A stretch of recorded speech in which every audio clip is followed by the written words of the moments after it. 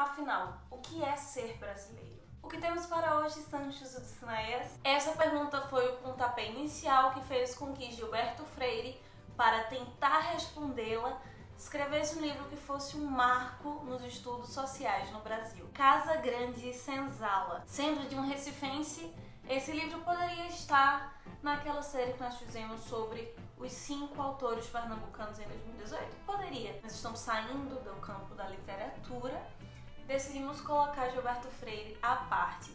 Até porque hoje nós vamos estar falando, na verdade, de uma adaptação desta obra. Uma autora em estudos sociais chamada Doris Summer vai nos contar em alguns dos seus ensaios sobre Iracema, sobre José de Alencar, que nós, americanos, surgimos das histórias de amor entre os brancos e mulheres de cor. Mulheres de cor porque ele está englobando tanto as indígenas quanto as africanas que vieram aqui para o Brasil. E essa era a maneira como eles englobavam esses dois tipos, que era diversificar em vários grupos étnicos. E a partir dessas relações que foram nascendo, Gilberto Freire vai buscar entender, através dos seus estudos, através do seu livro, como se deu não somente a formação de uma sociedade brasileira, mas a formação das famílias brasileiras, sendo essas o nível básico para a formação de uma sociedade. E esse homem europeu que veio para cá tinha duas opções: ou casar-se com as mulheres brancas de sua mesma raça, que eram a personificação humilde da Virgem Maria, ou com as mulheres que eram símbolo de exotismo e sexualidade.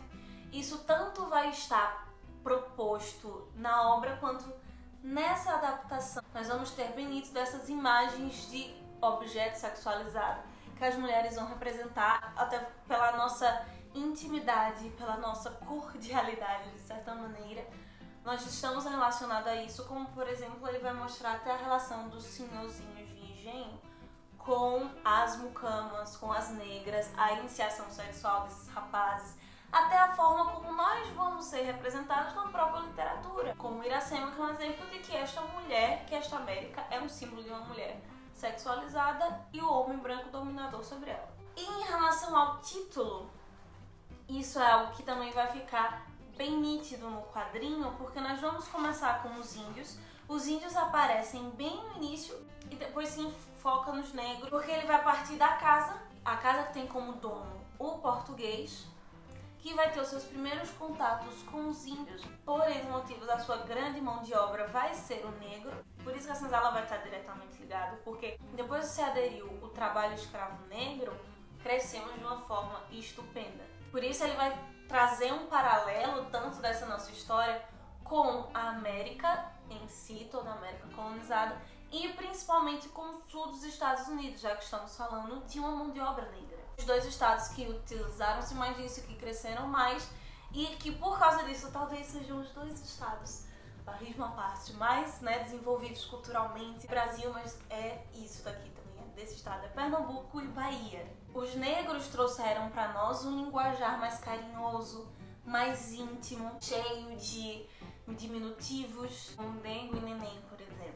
As nossas festividades e principalmente o que ele vai defender, que é a senzala, mesmo sendo uma representação de tristeza, representa aqueles que trouxeram mais alegria para nossa cultura. Ele escreve os índios e os portugueses com arte e melancolia, enquanto que os negros sempre trouxeram festividades, celebrações que formam os grandes pilares de festejos e dessa desse povo cordial, desse povo sorridente, dos, desse povo que fica conhecido por esse estereótipo e consegue sobreviver e estar feliz mesmo nas situações ruins e que leva alegria por onde passa. Uma parte bem pontual que no Casa Grande Senzala e também no povo brasileiro do, do Darcy Ribeiro, nós vamos saber todos os povos africanos. Não é o negro que veio da África, mas os povos, as sociedades, as civilizações, que tipo de gente veio para cá. E o legal disso é que nós vamos tendo a imagem, as diferenças desses povos, a, os significados, emblemas da roupa da baiana típica. Nós vamos ter aqui tanto desenho quanto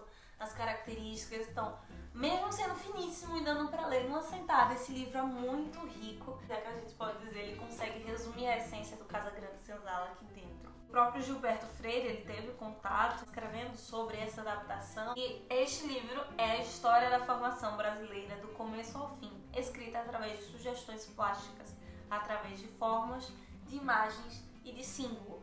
E nada mais do que essa linguagem realmente simbólica, tudo o que aconteceu na nossa civilização, todo esse passado muitas vezes triste, mas como ele está cheio e carregado de simbolismos, de sentimentos e de significados para a nossa cultura hoje. Como essa miscigenação entre a casa grande e a senzala, um pouco da aldeia, conseguiu fazer com que diminuísse a discrepância, a distância entre esses tipos sociais. Ela conseguiu sim diminuir a distância entre essas etnias, mas infelizmente ela não conseguiu extinguir. E por isso que esses livros são tão importantes, não só para a gente conhecer da história, mas pensar no nosso papel hoje, que nós não reproduzamos essas desigualdades, mesmo em pequenos atos, em escala bem menor, mas que às vezes está tão impregnado na nossa cultura que nós reproduzimos e nem nos damos conta. Então é isso, meus queridos é uma adaptação maravilhosa, tanto nos traços do desenho, quanto os trechos e a dos... como eles conseguiram resumir a obra aqui dentro. Então fica aí a sugestão para vocês, se vocês já leram a íntegra ou já tiveram uh, acesso a essa adaptação, fiquem à vontade para expor os comentários de vocês aqui embaixo. Vamos sair da biblioteca e ir além dos meios, né? Vale.